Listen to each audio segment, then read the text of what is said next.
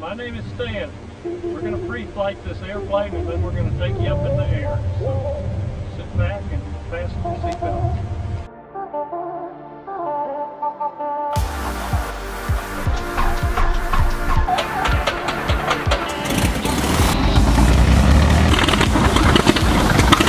That's about it. Come on, let's go flying.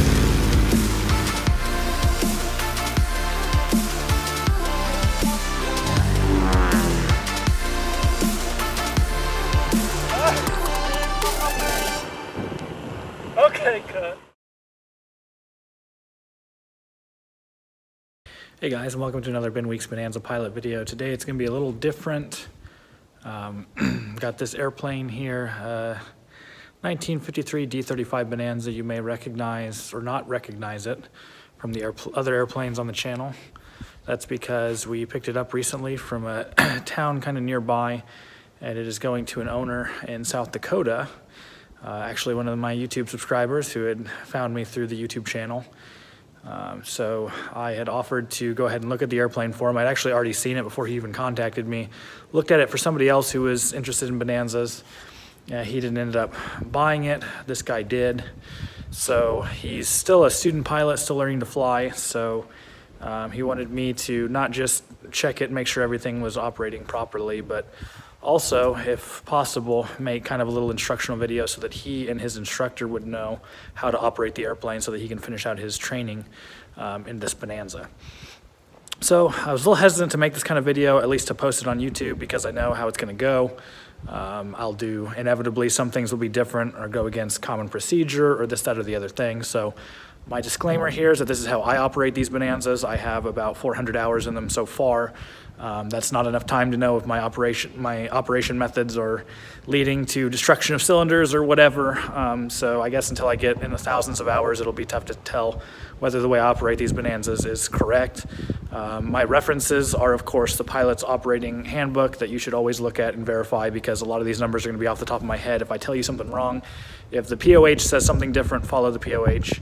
Um, the other source I use is a, there's a Bonanza guru in the Beechcraft community called Lew Gage.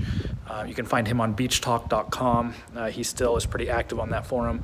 He wrote a book uh, that I will link or show somewhere in the video um, on operating. It's everything, not just um, the operating and flying of the Bonanzas, but also how to maintain them, the things to look out for, things to talk to your mechanic about.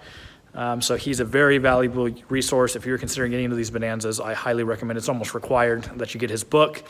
It costs uh, $50, I think, on the American Bonanza Society. All the proceeds go to the American Bonanza Society. Lew Gage isn't making anything off of it. He's done uh, more for the Bonanza community than uh, probably all of us combined. So it's very generous of him to share his knowledge. So you can always uh, look at, um, can always go to his book for a resource. Uh, but I'm just going to kind of give my rundown. I mean, my dad has flown these Bonanzas since the 1980s. Uh, I got into them back in 2016, 2017-ish time. So uh, the way we operate them so far has worked. We fly a lot of different Bonanzas. We've had pretty good success so far. Um, so again, uh, operate at your own risk, but I've flown with people and they do things differently and that's fine. Um, some things are just plain not fine. So hopefully um, I'll walk you through kind of the, the, way I start the airplane, cold starts, hot starts, um, just general operation speeds, um, just little odds and ends, preferences I have. So don't think that everything I say is going to be just required. It's just my own preferences. So this is mostly for uh, Clint's benefit. He's going to be taking possession of this airplane here pretty soon, um, him and his instructor. So it'll be their airplane specific, but I'm going to try to generalize it um, to pretty much all of the 1947 through 1956 uh, E-Series Bonanzas. Uh, so if you're looking for how to operate those, uh, there's not a lot of content on YouTube you'll find. So um, this isn't going to be the greatest content, but until somebody else makes a better video, it'll be what you have. So uh, without further ado, I'm just going to kind of go in. I don't know how organized this video will be. I don't have it scripted. I'm just going to kind of walk around and uh, hopefully the YouTube comments will correct things that I get wrong. So this should be a very good building experience. If I get things wrong, people in the comments that are more knowledgeable than I will be able to correct it. So, and also uh, if you have other questions, go to BeechTalk. I keep talking about BeechTalk. I'll link it or whatever in the video. It is so useful. I do so much of my problems are solved using BeechTalk. It's a fantastic forum. Go join it, become part of the community, and get yourself a Bonanza. All right, so I don't really know how else to do this other than we'll just start spinner to tail, and I'll just kind of walk around. Um, and just try to talk about things. Again, this probably will not be super organized, but I'm just going to try to get as much information uh, to you guys as I possibly can. Um, so, propeller. There's only three options currently for, okay, whatever. There's three basic options. There technically are variants of each different option of propeller. Makes it very difficult for having these old uh, E-Series Bonanzas because it can be a little bit difficult to find the prop. This is a Hartzell um, MV propeller. Uh, they call it the MV style. Has a different hub, which you can't really tell the difference um, between the two. But one of the, the early hubs had an AD that required every five years you have to pull uh, the blades off, inspect them for corrosion, check the hub, something or other. I don't know all of the details. I don't care. You send it to a prop shop, pay them money. They tell you it's fine, put it back together, or they tell you there's corrosion and you have to get a whole new prop. So it's kind of a pain. The MV propeller uh, does not have that AD, so it is considered a better propeller. Problem is, it costs about $50,000 for the whole fixings, oil transfer unit, governor, and propeller from Hartzell. They don't want to sell them. They don't want people buying them. They hate the Hartzell propeller um, that they had to make for the E-Series Bonanza is not their best product they have ever made. Lew Gage can share more information about why that is. If you look in, I don't know what you're going to be able to see here. Uh, there's the oil transfer unit right up here. So these have a spline crankshaft. Um, I will show you that. Uh, I will. I have whatever. I'll show you a clip that shows what the, the, the, crankshaft looks like. Modern aircraft have a crankshaft that has an oil galley that can deliver oil to the prop to change the pitch. Um, that is built into the crankshaft. Problem is, when these aircraft came out, they were always intended to use an electric propeller that uses an electric motor to change the uh, pitch. And because of that, there's no way to get oil through to the propeller hub unless you design what they call, I guess, kind of an oil transfer collar um, or oil transfer unit, whatever. And it essentially has like some piston rings in there that allows somehow the oil to travel through but not back into the crankshaft. It builds up pressure like 150 or something psi. I don't know what the exact amount is, but if engine psi is only 40 or 45, you obviously have to upregulate that to like 150 or something to be able to change the prop pitch. Higher pressure, I think, makes the prop, yeah, high pressure puts the prop into fine or high RPM pitch and then low oil pressure puts it into coarse. So if you lose an engine, you're going to lose your prop control. It's going to default to coarse pitch. Um, also, the blade counterweights are always trying to pull it into coarse pitch. So you have to have oil pressure in order to have takeoff RPM. Huge pain. This is why I don't love these propellers. Um, you've got the oil delivery line right here. There's just the breather, engine breather. Ignore that. But that right there is what takes oil from the uh, governor that is in here. This little guy right here uh, delivers oil. There's the oil line. You follow it all the way up, sends the oil up into the oil transfer unit, and then that oil pushes back into the crankshaft. You remove the crankshaft seal that's supposed to block oil from getting out into the hub. You actually remove that so that the oil can travel back into the engine. So it's not like a closed system. builds up pressure. The piston rings keep the oil from all seeping back except at a certain pressure or whatever.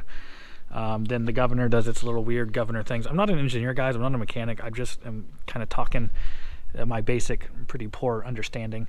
There's a T drive that is like a, it's kind of an adapter that goes where the fuel pump used to go. And then that allows, there's two separate things. One drives the fuel pump, which is back in there. Maybe you can see it. Um, and then, so one is the governor, one is the fuel pump before the fuel pump mounted directly to the accessory case. Makes it really congested in here, but it's whatever. It is what it is. That's why I prefer the electric prop, but I'll continue. You probably hear me say that I prefer the electric prop like a million times because I do. Also, if you look past the governor to that little silver looking thing, that is the Plane Power alternator, which is the coolest upgrade ever. It's, I think, a 50 amp um, alternator and it is way better than the generators. The generators are great; they're very easy to work on, but they have so many problems. We have had endless issues with uh, the generators. The alternator is way better. Um, so that's what you've got, Clint. So congratulations, you got a super awesome. I actually ran these uh, incandescent bulbs that draw like 25 amps a piece.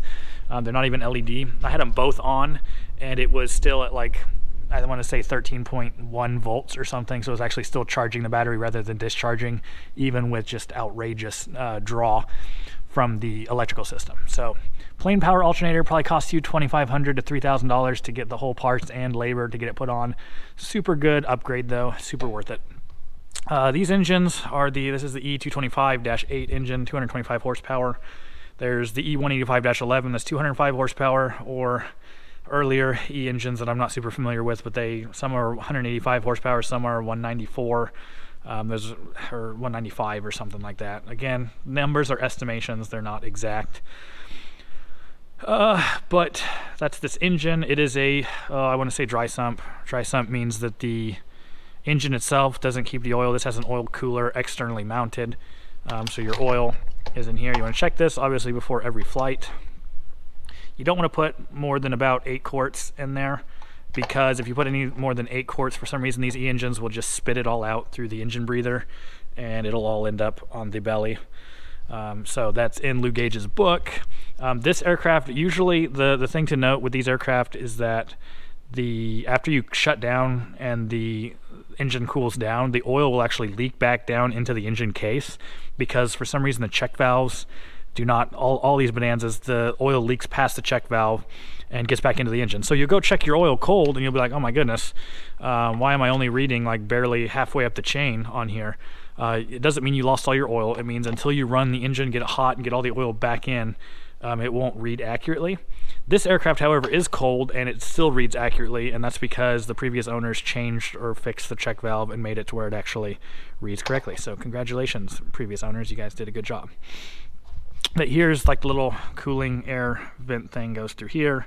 Um, some people have trouble getting their uh, oil very um, warm in the winter time. So uh, Clint, you're up in South Dakota. It's cold weather. You might have to tape off some of this.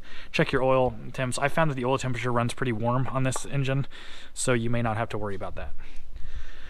Uh, otherwise, uh, down here, where you're going to change your oil uh, after you want to run it, get the oil warm, but not hopefully not steaming hot, but warm enough that it flows really well. This is a little uh, oil funnel thing that you're going to want to take off this gill plate and drain all your oil out here into a bucket. You'll make a giant mess. Um, we always do. We try not to, but we do. Um, there's also a down here. There is a.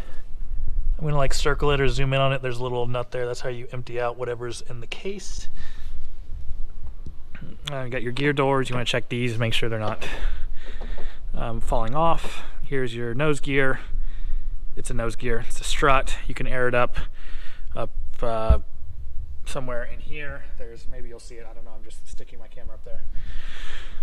Uh, that's how you can air up the strut if you need to. This is pretty good um, level. I would actually I mean, they say you want like four fingers, which is about what this is. I prefer it just a little bit higher, but that's because I do a bunch of off airport um, in the weeds and rocks and junk, and so I like a little higher strut. Uh, your air filter is in here. It's a nasty, gunky thing. You take off these screws, change your oil filter, change it once a year, um, unless you want to tear up your engine cylinders with grit and stuff. Uh, so you got your cowl flaps here. Um, things are not really quite operating properly. We have to do some adjustment on them. I don't know what the deal is, but it makes it hard to keep the cylinders cool. Cowl flaps aren't really opening very well. Uh, this is as old as the hills. I think this is your boost pump. It is massive and it's, I don't know, I hate it. But it's there, so if we have to work on anything back there, it makes it even harder to get back behind the engine. Uh, you got your starter right here. Um, it's a really good starter. It pulls the uh, prop around really well. You got the slick magnetos, which is cool. Uh, some people have Bendix. These appear to be slick, I believe. So good magnetos, great magnetos. I think there's no ADs against them. Here's your brake fluid reservoir. Fill it with uh, that red hydraulic fluid stuff if your brakes are getting spongy. Um, it is so stinking cold. Oh my goodness. Uh, that pretty much does it for the engine compartment. At least enough for um, what you guys need to know for basic operation. If you want to get into like the whole mechanicking of everything, there's your spin on oil filter adapter kit. That's the Airwolf, I believe, uh, adapter. Uh, Lew Gage, actually, I think he came up with these. Um, it's really good, cool design. That way you can check your oil. Um, it's a lot better. The other ones, some may just have a screen that you take out, and it doesn't have as fine of uh, like holes in it so it can theoretically let metals get through that a normal oil filter would not so it's better to have the oil filter or so the saying goes uh, although my dad's has not had the oil filter and we haven't had any trouble with it uh, okay so obviously you guys know basic walk around. I'm not gonna like insult your intelligence by like doing a walk around, be like, oh, here's how you check your prop for blah blah blah. Uh, do your walk around, whatever. Um, you check your fuel. Uh, let's see, there is something to say about the fuel system. This is I'm checking the right tank right now. I like auto fuel. You can run avgas, whatever, if you want to have your lead fouling on your plugs all the time. Uh, but this is your checking your fuel. A little secret that I have done, it may be different if you have a different chain link, so you might your results may vary. But I have found that if I take this chain, because there's no obviously there's no dipstick, you'd have to make one yourself. But I found that if I take this chain and I get the little figure eight looking link and I match it perfectly to this little edge of the skin, the bottom of the oh you're not gonna probably be able to see that very well, but the bottom of the little chain T thing that should touch the bottom of the or the top of the fuel. If it just barely touches, that is essentially 10 gallons, plus or minus, more or less. That's a nice little way. I can't give you any other gradations, but I can at least tell you that if it's at the bottom of the little metal thing at the bottom of the chain, uh, if the fuel level is at the bottom, whenever you have the little figure eight piece on the edge of the skin, that should be roughly 10 gallons. So use that as you will. If you have a different chain length, it's going to be different. Um, but at least it's a little something you can consider. Uh, I am going to show you guys because, like for instance, in Clint's case, he's not used to a retractable gear airplane. He hasn't had to do a pre-flight on it. So I'm going to kind of show you the things I look for up in here. First off, this is your squat switch. Kind of cool. Uh, that's supposed to keep you from, if you accidentally raise your gear instead of your flaps when you're taxiing back to your hangar, that is supposed to keep it from raising the gear. Problem is, then you'll be on takeoff and you'll get a little weight off of the squat switch. It'll still fold up before you're fast enough to fly away, and you'll still gear up your airplane. So I don't really know what purpose that serves, but it's there. Uh, okay, up here, this is your little uplock. No, this is your uplock roller. Um, you want to check this. It's a little bearing thing. Sorry if I'm throwing you guys all around. You want to make sure that's all greasy, nasty, and spinning freely. Uh, this is a little spring. No, this is like this is the uplock spring. This little thing goes and it the roller runs up against this little uplock stop type thing. You have to check your clearances there. Anyways, all that is irrelevant. That's more mechanicy stuff. All you need to know is that this spring, if it breaks, it will allow this to like somehow stick like all the way through the wing up here. And a lot of Bonanzas you'll find have damage or old repairs um, because the spring broke. So check your springs, change them. Everybody says change your springs. I like to give it a little springy, springy dingy thing here, and okay, it's good. So that's what I check there. I check the roller, I check the spring, I look generally to make sure the strut is still there. Okay, that's a gear check. See, it's not that hard to have a retractable gear airplane. It's not really that much more difficult of a pre-flight. Okay, so me check that. You do the same to the other side, obviously. Um, up here on the nose, like, I don't know, whatever. It's all greasy and nasty, but you can push to make sure you're, you got good tension because if that tension is not good at this knuckle elbow thing here, you're going to end up with your nose gear folding up and destroying your airplane. That has happened, or destroying your engine at least. Uh, people have had taxi incidents. I don't know how they get their gear so out of rig, but if you're worried about that, take it to people who know how to rig a Bonanza and rig the gear. So other side, um, do the same thing. Uh, oh, four. Okay, that was the right tank. Right tank is not your main tank. Got 20 gallons, 17 usable, whatever, on your right tank. Left tank. This is very important. Left tank, not right tank. Left tank is your main tank.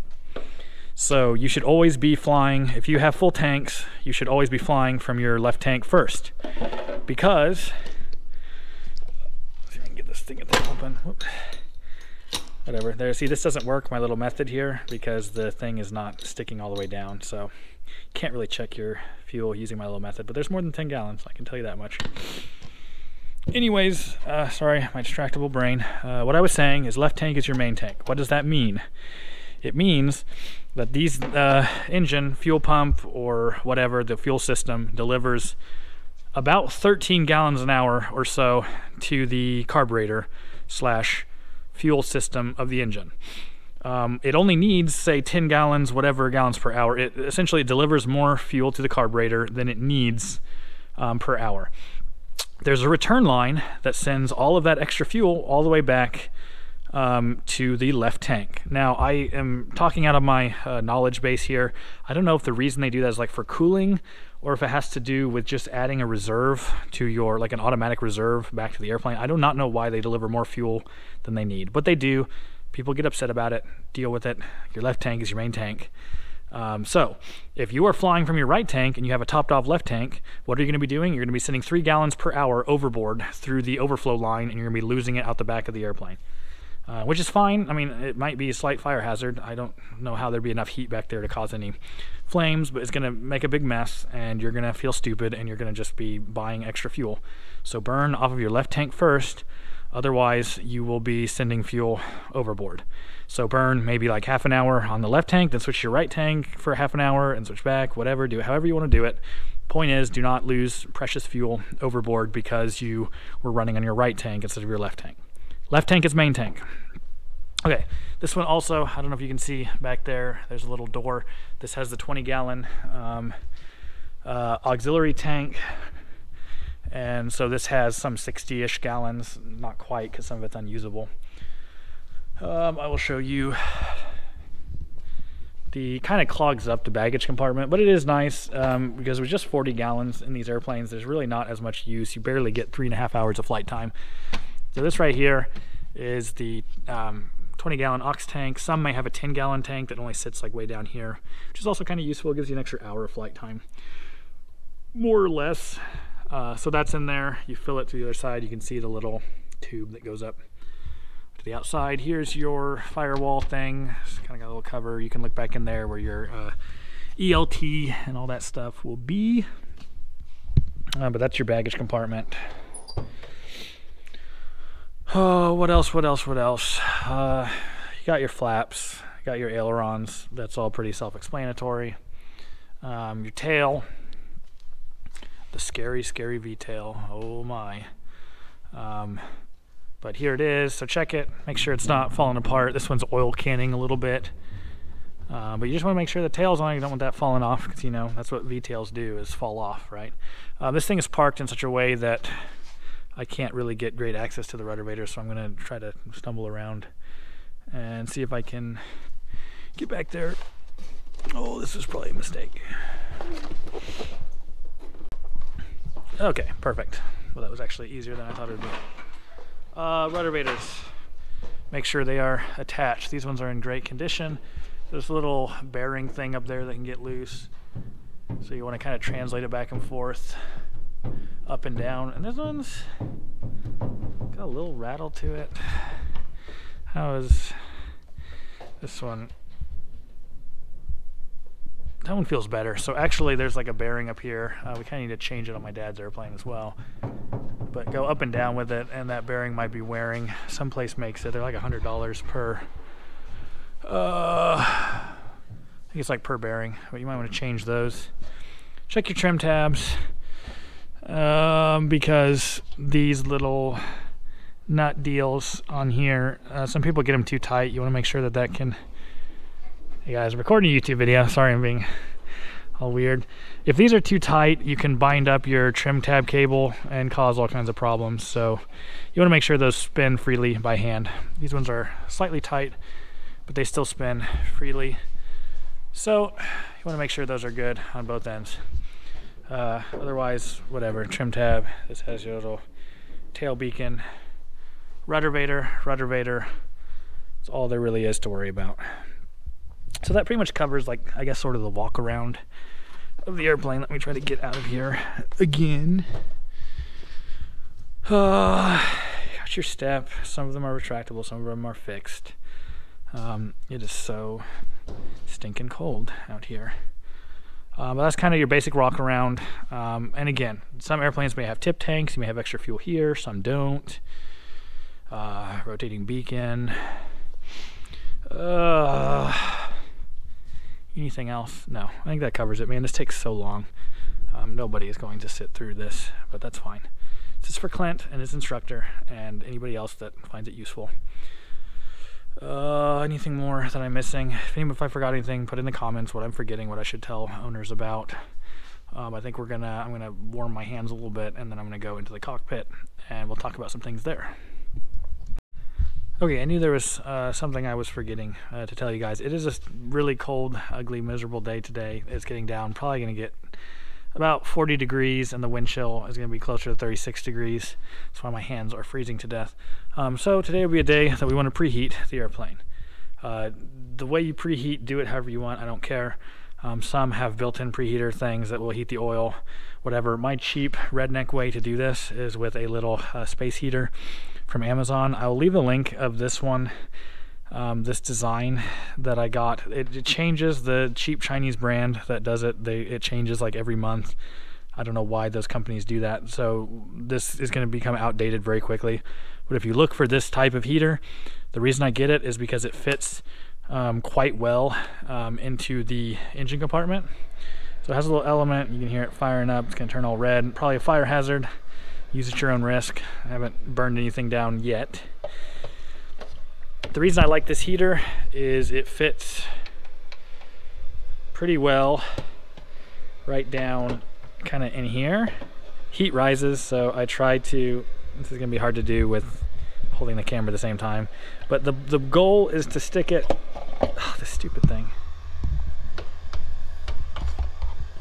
The goal is to have the thing heating your engine oil, right?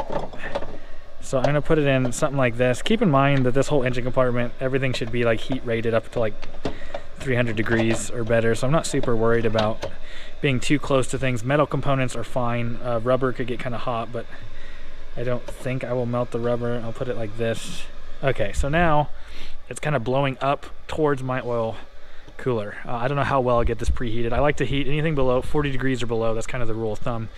Um, is you like to preheat the oil. So that's blowing onto the oil uh, coolers already. It's also warming my hands because my hands are so stinking cold right now. I should have worn some gloves. But that is heating your oil. I ran my little cable out through here. Um, if it's a small enough extension cord, you can actually sorry about that, you can actually kind of shut the cowling and I usually try to get one of these to latch and I'm not able to do this very well while holding the camera. That one is not going to work so maybe the front one here. Yeah, there we go. So I got that locked in and it's not a perfectly tight seal but it's going to keep some of that heat in there. In addition to that I put some blankets. I'm not going to show that. I'll show the end once I have the blankets because I cannot do this one-handed. But I put these blankets on, that keeps some of the heat. Heat rises. It's all going to be in, circulating nicely in this little engine compartment. And that's how I preheat. So you can use another method, whatever. It works for me. It may not work for Clint and his like however cold it gets up in South Dakota. Probably pretty stinking cold. But it works for us around here in southern Missouri where the climate tends to be a little more mild. Okay, so here's kind of the finished product. Uh, as you can see, it's not the fanciest job ever. I kind of stuffed the blankets in there. I don't know why I have to show you. You guys know how to put a blanket over the top. The point is, is I'm not covering the whole bottom, so I'm having some heat loss there, but heat rises, so I'm just trying to maximize the amount of heat that is staying in kind of this top foot of the cowling. So there you go. Okay, now we are getting into kind of the cabin of the airplane here. Got a standard four seat configuration that's going to look pretty identical in most Bonanzas. Some may have a third window, some may not. Just depends. So another thing you can do if you're in a really cold climate, I have done sometimes, is take one of those space heaters and actually run two extension cords, run one space heater in the cabin here to warm it up, and the other one in the engine compartment. Um, it just depends on how cold it really gets in your area. Do what you want to do. Uh, okay, so here is where you're going to get a huge amount of diversity between different airplanes. So I, I can show you stuff like where the circuit breakers are laid out. It's going to be different on all your airplanes. What will pretty much be the same is you're going to have a battery and a generator switch. In this case, you have a battery and an alternator switch. Uh, but you have essentially two switches are your master switch as opposed to the one that you may be used to on most airplanes. Um, usually they're like way over here. In this case, this has like a, your boost pump here um, switch, but usually you have like a little panel, circuit breaker switch panel thing. As your switches, battery and, and generator will be on your side, uh, the far left side. Just find out where they are on your airplane. In this case, Clint, you have a battery alternator. You turn those on. People have had trouble. They think that they can turn on the key over here and turn it to both and then just fire up. It's not going to work. You have to turn on your battery. You have to turn your master switch, which is your battery and generator or battery and alternator switch together. Um, otherwise, you got a bunch of circuit breakers. Learn your circuit breakers. I'm not going to go over that too much. The important ones to note is the landing gear circuit breaker, uh, which these are not labeled well. I need to find out on this airplane which one those are. Oh, here it is. Okay, gear. Find out what one that is because if you have a problem in flight, you're going to want to pull your, your circuit breaker out before you use the manual crank, which is down here. Before you use this manual crank, you do not want to spin that without first pulling the circuit breaker. Uh, the reason for that, I'm sorry, I got the sniffles, it's really cold out here.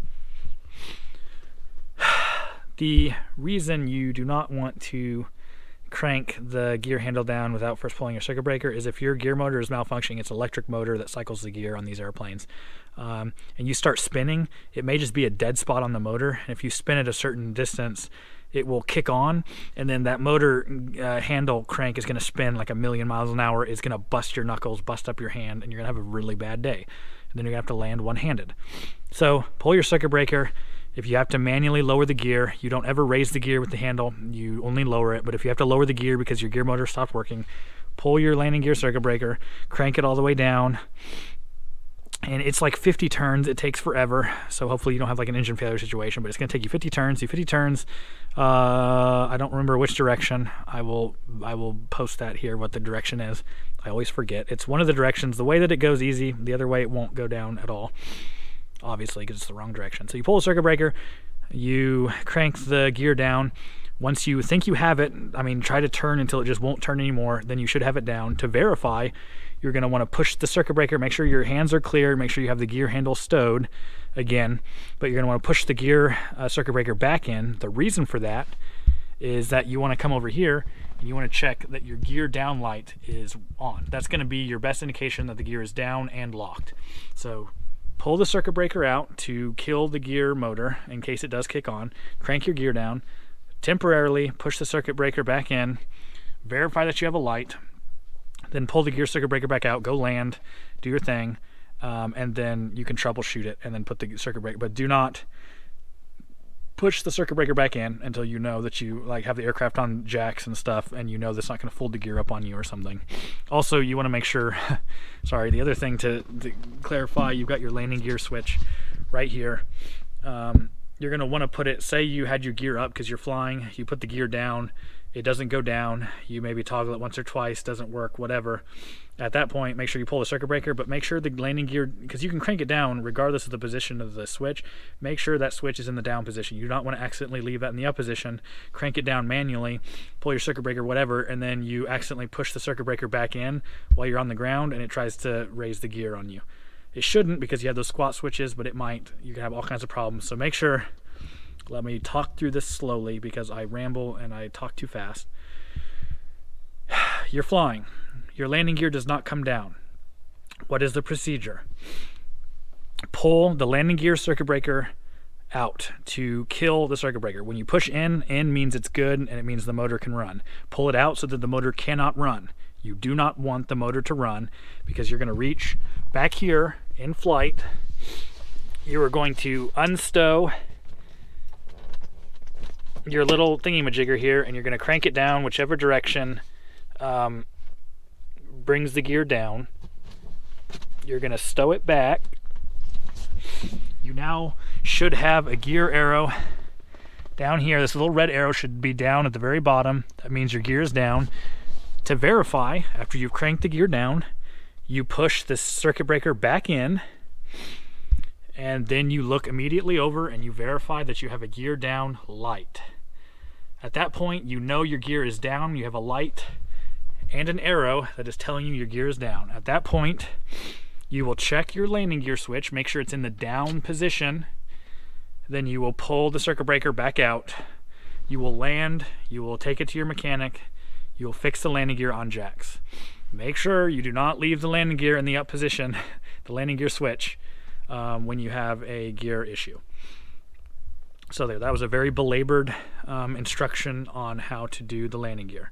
Also, do not get confused between your landing gear light and your flap down light. I don't know why they even have these. Who cares what your stupid flap position is? It's irrelevant. Tape over these, do whatever you got to do. Do not be fooled. This is your gear down, this is your gear up light. This light is so stinking important. So don't be confused. Gear down, gear on this side, gear lights. Flap over here on this side, flap lights. Um, and that kind of segues into the next point. I'm actually sitting here. Sorry I'm breathing heavy. I'm out of shape. And it's cold. I'm just gonna go ahead and shut this door. Maybe that will conserve some of my body heat. Okay, so we're in the airplane. It's really tight quarters in here. I'm sorry about that. Gear flaps. Okay. Everybody gets so hung up on gear and flaps. Do not confuse them. Here is the important thing to remember. It's difficult to see, but right here where my finger is, that is a little safety switch. There is also one on here. Okay, to lower your flaps, to lower your flaps, you have to push the safety over with your finger. You have to lower the flap. I'm going to do it here. Okay, your flaps will lower. To raise the gear, I'm not going to do this, but I will pretend. To raise the gear, you have to move the safety and then flip the gear switch up, your gear will come up. If this safety switch is not pulled over, this thing will not go. A safety. Okay, so to raise your gear, you have to move your switch safety thing over. To lower your flaps, you have to pull the safety over. Now, the important distinction here, to raise the flaps, you do not have to move the lever. Do not touch the little safety lever if you are raising your flaps. There is a rule we say. We say it verbally like like doofuses. We scream it out like we're like we ride the short bus to school. We say flaps up one finger. Flaps up one finger. Now I can raise my flaps because it will not go down without the safety switch. It will go up with one finger.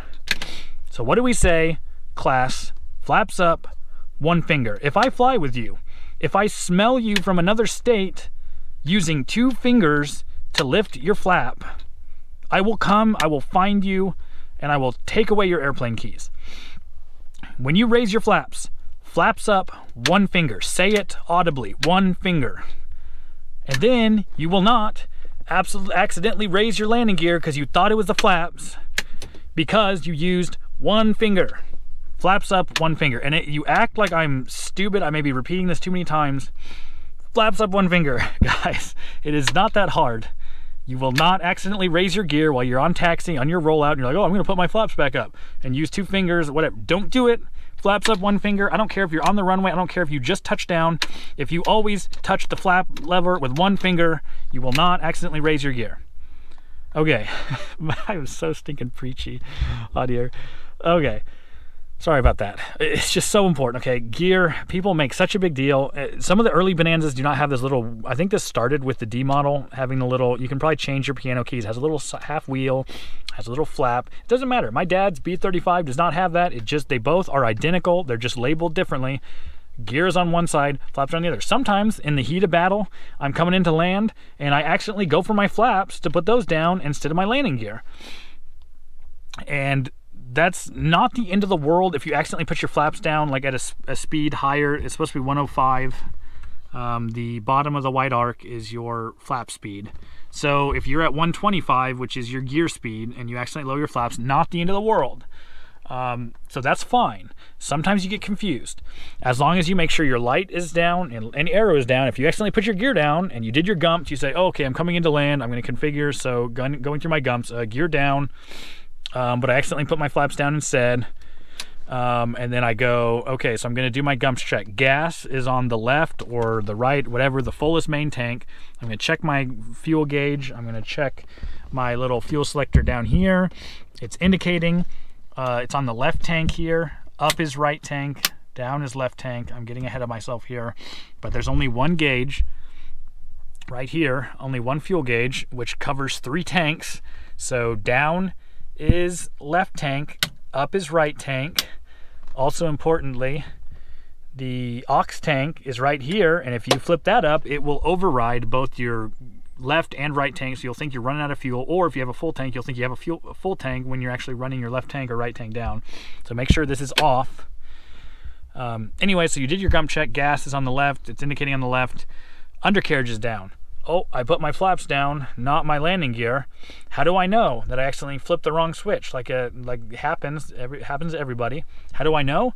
Because I don't have a down light, and my arrow position down here at my feet is in the up position instead of the down position. So gear down, light, arrow. If you don't say gear down, light, and arrow, I'm and I sniff that from wherever you're at, Clint or anybody else. If I hear you saying gears down and you didn't check your down light and your down arrow, I'm going to come find you. I'm going to come take away your keys. Um, so oops, I accidentally let me fix that. Let me one finger, always one finger, my flaps back up, and let me come over, put my gear down. Oh, now I've got my gumps checked. So undercarriage, down, light, and arrow now and now I know I am I safely have my gear down. And then I slow down the airplane to my 105 I'm on a short field and I lower my flaps. Has to take two fingers to lower. I go land safely and I want to get my flaps back up. What do I do? Flaps up one finger. Okay I think I've driven that point home pretty well at this point. Okay so I think I probably like belabored the point enough about the flaps landing gear. Rewind the landing gear flap segment as many times as it takes to figure out how to work gear and flaps. I'm not saying you're not accidentally going to reach for the wrong thing. You will do that. It's just inevitable, especially if you're sitting on a different side of the airplane, everything's reversed. The key to remember is what all I just said. One finger flaps, always one finger flaps. Okay, so no, I'm not talking about that anymore because I get hung up on it. It's frustrating. Okay, I finally got the key in here. Um, off position, all the way to the left. I don't know how well you can see down here. Yeah, okay. Down position You've got battery, left, right, both. Off, battery, left, right, both. Okay, you turn this on, you can hit your little start button. So if you can see this over here, start button. Not to do anything if your battery and generator slash alternator switch are not on. You need to turn on your masters. I'm not going to do, well, I will turn on battery right now. Okay, so now we're alive. We got, it's alive, right? So, anyways, battery, generator. Remember that. Simple things like that, but starting can be kind of difficult. I'm going to go through the start procedure once I got the airplane pulled out. This is kind of just more instructional. Um, I did allude to when we were talking about the gear, the fuel system. So let me see if I can get down here and clarify this a little bit. Okay, so this is down. Your left leg is going to sit right here-ish. You're not really going to be able to visually see your um, fuel selector system here. This is a wobble pump. It extends, kind of telescopes out. You can use that to prime. If you don't have the boost pump, you can use that to prime it. This is your um, fuel selector. Right now it's on the left tank because the little bitty, not the big paddle, but the little bitty arrow is pointed to the left. Forward in this airplane, and it varies, some airplanes are backwards on this, but forward is off. Backwards is your baggage tank slash tip tanks if you have them. And obviously right is to your right tank. So you just point the arrow towards the tank or you shut it off if you need to shut your fuel off. In this case, we're leaving it uh, on the left tank for now.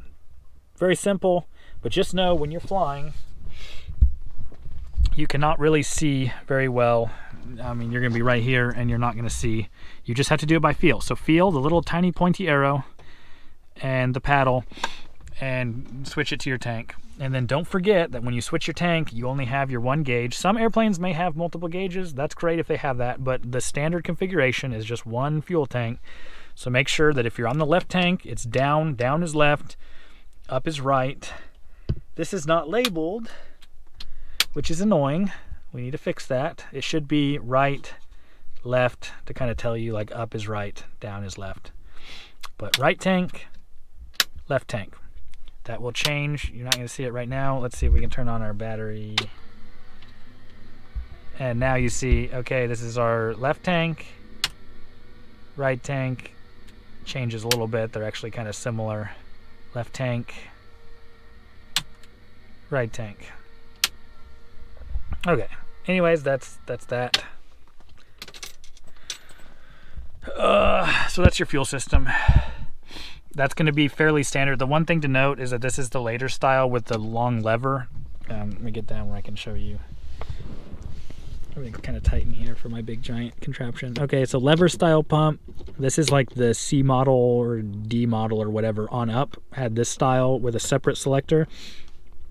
The early Bonanzas have a T drive or a T style pump that's just a fuel selector and a pump at the same time. It's just got a plunger style pump, and you also turn the plunger either left, forward, off, right to right tank, and then you can pump it up and down. It's very important with those that once you're done pumping to start the airplane, you make sure it's down and locked into position. You should feel the little click because if you get it stuck, you can actually get stuck in between tanks and you can actually starve for fuel. So keep that in mind. Um, learn if you have the other simple T style um, plunger pump, make sure you uh, have it locked into the correct tank. And you should be able to push it down, click it in, and then you should have a little bit of play, but it should not go all the way over without running into resistance. And you should have to force it a little bit to get it over that resistance into the next position. Play with it on the ground, you'll feel the differences um, with the fuel system. That pretty much covers the fuel system. Like I said, you always want to be on your left tank if you have full tanks because it's going to send three gallons per hour back to your left tank. Okay, so gauge wise, uh, fuel pressure, you should, I'll give it just one pump or so. I don't want to send fuel spouting out over the overflow, but you should watch the fuel pressure move up. Yeah, okay, so that was a couple pumps, fuel pressure went up. This is a CHT gauge. If you have the standard CHT, it's not going to be super accurate. This is marked in-op because this has a digital CHT gauge right here. Um, so that's what you would reference for your CHT. You also have oil temperature here. You can see the green range. You want the oil temperature to be in the green. Uh, you got oil pressure. It's all self-explanatory. Keep it in the green. Um, on the ground in this heat of the summer, your oil pressure may run down in the red. It may be close to zero. It may be like five or eight psi at idle, like a thousand RPMs. Okay, don't freak out.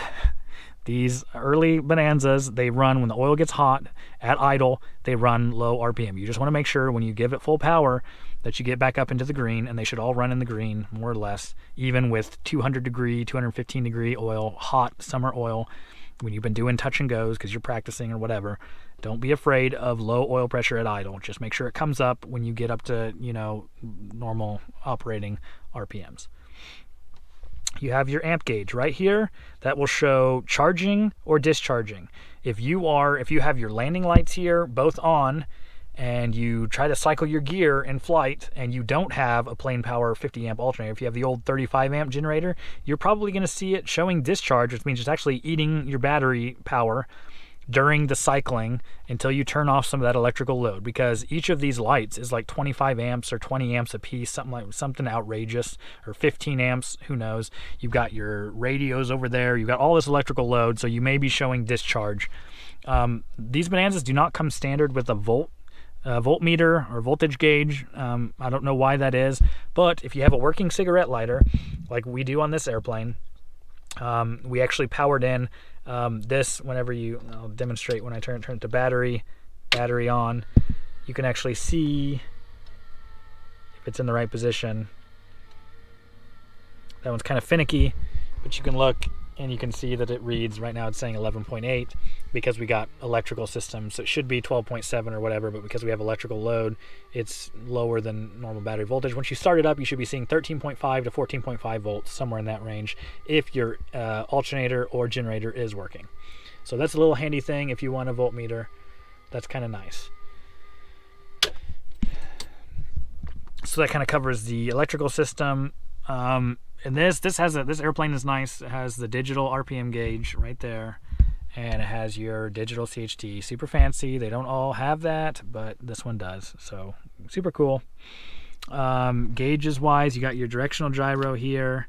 That's standard. You guys should all be familiar with that. There's no nothing magical about that. Here's your compass that you probably can't see very well. Set your DG to your compass, whatever. Uh, moving up here, you got your airspeed. Um, so speeds. These are all going to fly different. Take your airplane up, stall it, see where it stalls dirty. Um, it's supposed to be top of the white arc, should be your stall speed. So 56, 55, 56 miles per hour they're all going to be different depending on how much load you have. That's at gross weight. Um, different temperatures uh, affect that. So fly your airplane, find out. Um, but roughly around 60 to 70, 60 to 65, 70 is where I'm expecting the airplane to kind of start lifting off. Some of these have a forward CG. So if you're barreling down the runway at 70 miles an hour and you haven't, the airplane hasn't taken off, add a little back pressure and it will lift off for you. So that's your bottom of the whatever top of the white arc. Obviously, is your stall speed. If you're a pilot, you know these things already. But just for basics, I lift off at around 60, 65, 70, depending on my configuration if I have flaps or not. I'm getting airborne, and then the next speed I'm looking at is 80. I want to kind of get to 80, and that's like my climb out speed, kind of VX type thing, type of situation. So I'm putting my gear once I get to 80, or maybe slightly before 80. If I've got a positive rate of climb, I am gear up and if I'm clear of obstacles as well, if I'm not clear of obstacles, I might leave my gear down, leave everything alone until I clear the obstacles. That's your own preference. Talk to your CFI, see what they think. But around 80 is what I'm climbing out at initially to get over obstacles. Once I'm clear of obstacles and I want to optimize best rate of climb, I'm speeding up to about 100, 100 miles per hour. If you have the electric prop, 100 to 110 should be kind of your full RPMs give you the best rate of climb should be wherever that is a thousand or 1500 or whatever uh, feet per minute. Um, so around 100. That's for like the first minute. You get full power for one minute with these E engines. After that, you're going to want to pull the prop back to 2300 uh, RPMs continuous. It's different if you have like the early Bonanzas. Look at your POH, whatever, follow that uh, recommendation. Um, but the important thing to remember these airplanes is you want to keep them cool. These engines get really hot. The cylinders do not have as many cooling fins as the later IO 470s and stuff. So you're going to want to get to 120 as quick as possible. Lew Gage will tell you this in his book. Um, as soon as you're clear of obstacles and you are have a healthy, comfortable altitude, you're done with your one minute aggressive climb. You're going to want to go transition into a cruise, a cruise climb that's at least 120 miles per hour or better to optimize cooling and keeping your cylinder head temperatures as cool as possible. Um, you want to avoid getting, I, I, I'm forgetting exactly what the red line is. It may be like 525 Fahrenheit or something is the red line. It may be people try to keep their their CHT below 400. Good luck with that on climb out um, on a hot day. But at least below 450, you're going to want to keep it below there. And then as soon as you get level off in the cruise, you should be able to get your hottest cylinder below 400. Um, otherwise, you might need to pull your power back, whatever. Fix your baffles if you're not getting good cooling. Um, so that's kind of the thing there with climbing out at 100 um, for the first minute, get over your obstacles, get some air under your wings so that get some altitude so you have options. Once you are safe above your alt, uh, and you've used up your one minute and you're safe, then start transitioning as quick as possible into a cruise climb to optimize cooling because you have saved your life by getting altitude. Now save the engine by getting it cool. Um, so that's kind of the airspeed. Uh, next thing is 105, like I alluded to earlier. 105 is your flap speed. Do not lower your flaps below above 105 unless you are in an emergency, in which case it's like 140 or something is like the emergency. So don't do it at 120 or, or 140 or whatever. Do it at 105 like it's supposed to, or slower. Do it 100. Do it at 80. Don't use flaps. If you have 8,000 foot runway, why would you even use flaps? Use it when you need it. Um, they're electric flaps, uh, but don't do it. You're going to tear up stuff if you do it all the time at higher speeds. Um, otherwise, green arc, um, smooth air, green arc, or sorry, bumpy air, green arc. Smooth air, yellow arc. Never exceed 20, 205, no, 202 or something. Is your don't don't get up. You're not gonna get up there unless you're diving and you lost. You're you're in bad shape if you're getting your 200 miles per hour with these E engine. They're just not that powerful. So that's your airspeed indicator. Here's uh, at least Clint. Here's your avionics switch. So you're not be able to talk in your intercom or anything unless you turn this on. Okay, my camera died there, so I don't know how much of that I caught. So over here, uh, Clint, for your airplane specifically, avionics is here. If you need radios and everything, um, you're going to want to turn on your avion intercom and stuff is not going to work unless you turn your avionics switch on. That may be different for different airplanes.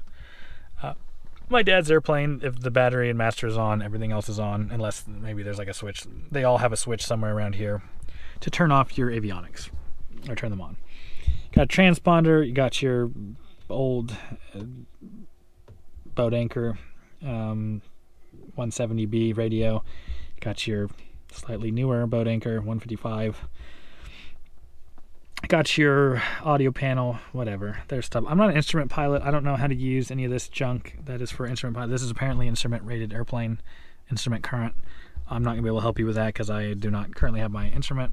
Here's your autopilot. Use that at your own risk. Good luck. All I can say. I don't know why you'd need it unless you were doing long flights, but I think Clint does want to do a lot of traveling and stuff, so you might learn to use this. I think it works. I haven't tried it. I'm not going to try it because I don't trust myself. Read the manual. Figure out your own systems. Uh, da, da, da, okay, that kind of covers everything over there. Um, whatever. Instruments, these are basic, you know instruments. I don't have to walk through that. Okay, cowl flaps. These are important. When you're taking off and when you're landing, cowl flaps should be open. In cruise, maybe you can close them or you can run them open all the time. Look at your CHT, um, react accordingly based on how cool the airplane is staying. Um, but anyways, these cowl flaps are kind of janky right now. Um, a lot of times these will break. I'm surprised this thing's intact. Um, because a lot of times these get broken because they just get hard to pull. Lube your cables, spray some oil down in there, get some oil working into the cables. It'll keep things nice and loosey-goosey. Here's your carb heat. Don't use carb heat. Okay, why? I don't know why they have it. It's a pressure carburetor. I don't know the science behind it, but apparently, from what I've read, I'm just parroting what other people say.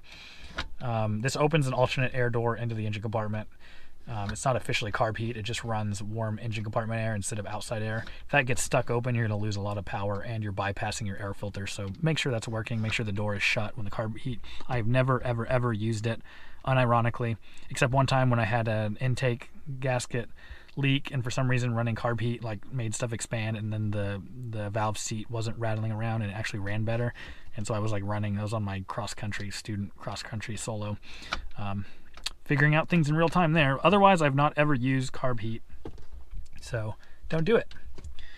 Um, maybe you will fly into icing conditions. I don't know. You're up in South Dakota. Maybe you need carb heat, but it's there if you need it. I've never used it. If you start getting carb icing, try it. Maybe it'll work.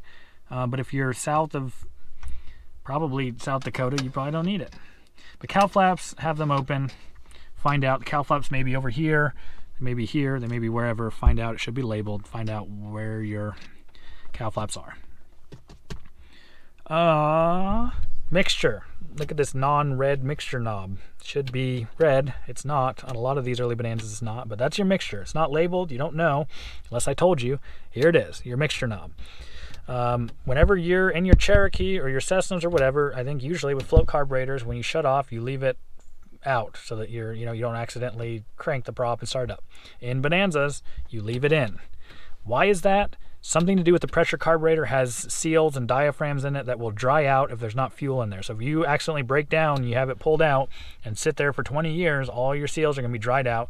You want to leave this in so that there's some fuel or something in there, fumes, whatever, that is keeping things nice.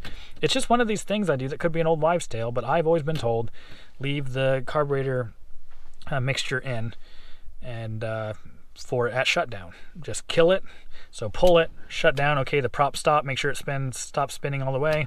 Put it back in, and now you can go put your airplane back away in the hangar. So leave the mixture in after idle cutoff in Bonanzas. Flaps up, flaps down. They may work, they may not work, whatever. They're stupid. You should cover them up. I hate them. They shouldn't exist. Um, they're useless. Here is where if you have the electric propeller instead of the hydraulic, like this airplane does, somewhere in here, here, or here, you would have a toggle switch. Up is high RPM, down is low RPM, whatever. Um, that would be if you had the electric propeller. This airplane has the hydraulic propeller, so you got a prop lever right here. Um, this is your starter right here. It should be labeled starter. It is. This, I don't know what that is. It looks like a starter button, but maybe it's an old starter button. Maybe it's for something else. It's there. I don't know what it is. It's not labeled. How am I supposed to know what it is?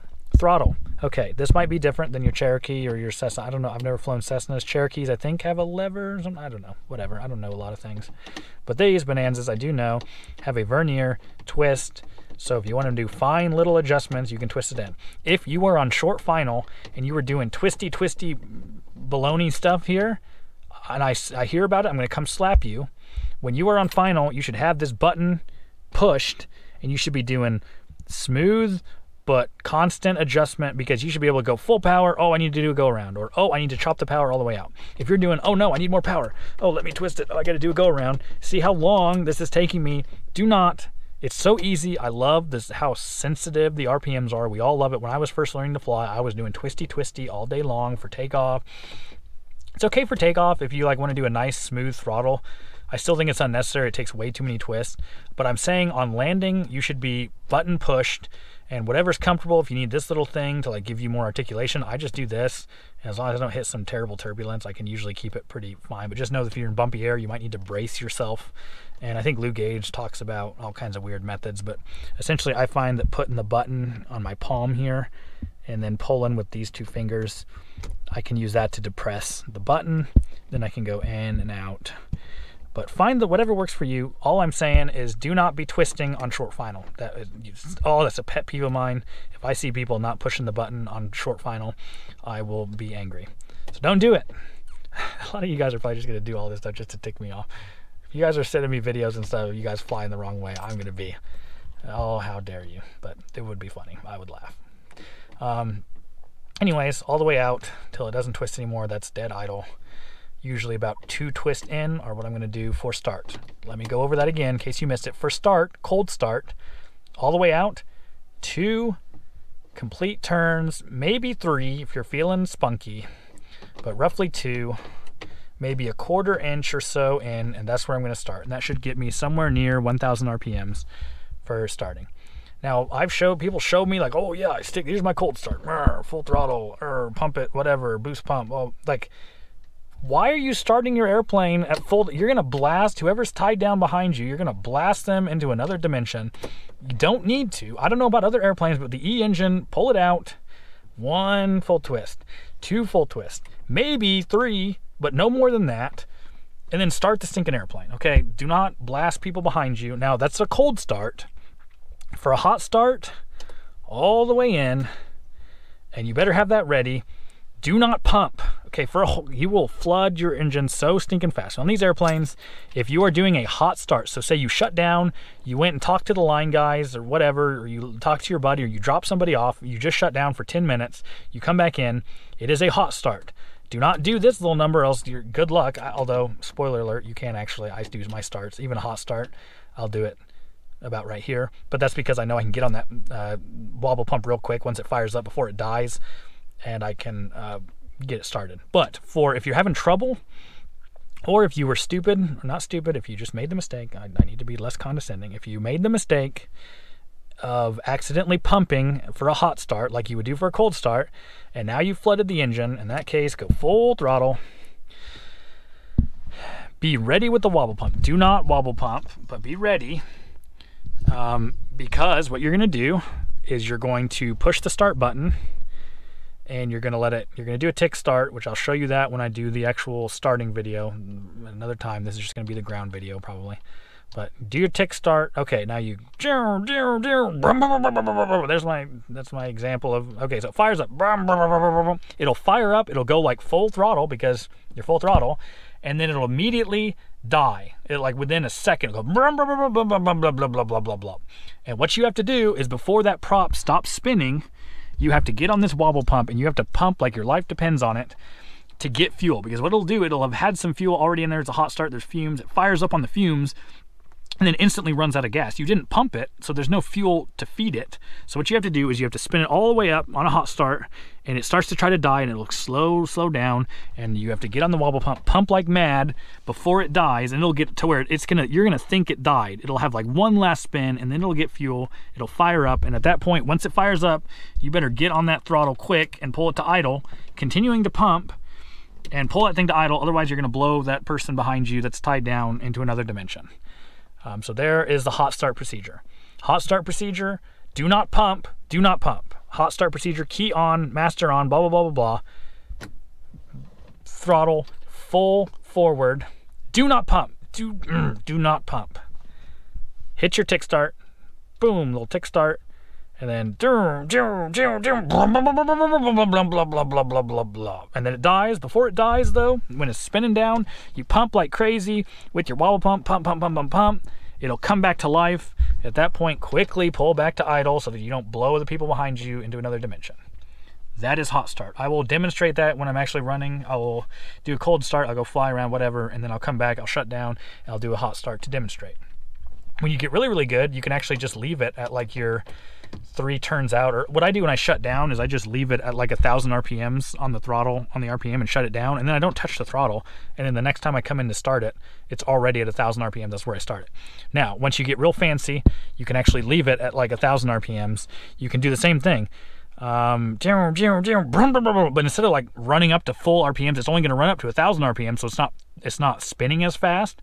It will still die on you, and so you have to be quicker. So the key is if you're good enough to really get on that pump quick and still save it before it dies once it fires up, then you can actually start it, do a, a hot start with the throttle all the way out at idle just know it's harder. The reason we like to do full throttle, for one, it helps clear the the carburetor if it's hot and you flooded it, but also that spins up faster, and more spins means a longer time before the prop stops spinning when it runs out of fuel. So, I don't. That was probably clear as mud. If you guys have questions, whatever, you can ask me the questions. I'll help. Whatever, send me an email or something. Um, maybe it'll make more sense when I show the actual flying video. Some people, sometimes in theory, things make sense, but it's easier to watch it in practice. So that's hot start. For cold start, I don't know if I really made it clear. Cold start, two twists in, maybe three. So that should be roughly around 11 or 1,000 RPM, something like that. Then, because it's a cold start, you are going to pump. So it's cold, you just started. What am I going to do? I'm going to do about 6 to 10 to 12 pumps, depending on how good your pump is at actually pumping fuel up there. Um, it's hard to flood them on a cold start unless maybe it's really, really heat of the summer. So I found in the cool weather, just pump it six times, eight times, ten times, whatever. Pick a number you like. At that point, you do your tick start. The tick start is because the E80 starters, like this one has, some of them don't have it, but it will kick really hard. The gears are actually slightly misaligned. And so you hit that button. If you just ram your start button, it's going to go, hee chung and it's going to set the gears, and it can actually shear the gears in the accessory case engine system, and it can actually break your gear. So it's because the, the two gears are actually misaligned a little bit, so there's a little bit of play, and so it has to set those gears before it starts spinning the prop. So we call it a tick start, where we go, we just barely touch it, we just barely tip, and it's gonna go ring, ring, and then finally ring, and you get that little chunk, and you're gonna feel it and, and hear it, and that means that you did a good tick start, and now the gears are set. Once the gears are set and it's actually starting to move the prop, then you can go full push and so the key is just do a tick start first so that it will set those gears. Um, I will demonstrate that when I actually start the airplane. It's going to make a lot more sense. Um, so that's a tick start. So what did we do? We pumped up six to seven pumps. We did a tick start. It's clunked, it's set in. And actually, when I'm cranking, I will usually pump some more. I'll be on the pump. I'll have one finger um, hitting the starter button, and the other one will be pumping over here and then brum, brum, brum, brum, brum, it should start up, no problem. Now, if you're the lazy version you and you have a boost pump, you can actually hit your boost pump instead of having to use the wobble pump, and you can crank it that way while the boost pump is running. Just don't run it too long, or you could potentially, I guess, flood the engine. I like to use the wobble pump. That's what it's there for, and I'm old-fashioned. I just like it. So there you go. That's the starting procedure. Cold start, three cranks uh, all the way out. One, two, three if you're feeling spunky, tick start, near clunk. Chum, chum, chum, chum, pump a little bit, and then brum, brum, brum, brum, brum, brum, brum, pump a little bit, and then once you got good fuel pressure from the engine-driven pump, you can stop pumping, and your airplane's alive. Go to a thousand or less than a thousand. Check your oil pressure. Make sure your oil pressure come up. Same procedure you would do on any other airplane. That's the little tricks. It is not hard to start these airplanes. You just got to figure out your plane. You don't have to do any. You don't have to like turn around twice and spit into the wind or whatever. It's not any weird voodoo magic. It's just simple throttle management, fuel pump. You got to get fuel to the engine. You got to have it cranking. So hopefully that will make more sense when I do the actual flying video. But that's starting. Um, that is pretty much the basics of. I think that's going to cover most everything until I get in the airplane and actually run the airplane. So I think that's going to do it for this video sorry that it was um, kind of convoluted. I hope it's helpful. It's too long. I was going to do it all in once, but I think I'll do a part one, which is on the ground, and then I'll do a part two where I fly. Um, so I hope this is helpful for all you guys. If uh, there's things I'm missing that are specific for other airplanes, let me know. Um, otherwise, I'll see you guys in the next video.